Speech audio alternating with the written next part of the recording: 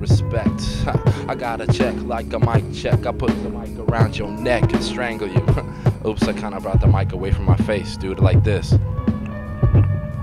Yo, I will strangle you with my mic cords. That's what it's for. I come from 19 motherfucking 94. I'm just kidding.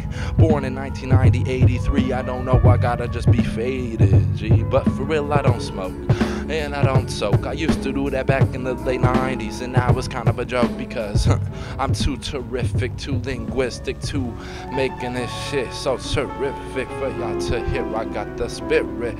Can you understand me with the lyric? I'm getting funny, but the beat's faded out. No money, hearing my own drums and hearing it going hum. I got that hum drum. Hear the jazz notes, you know. I'm gonna sign off for y'all and uh, until next time, this was a freestyle rhyme.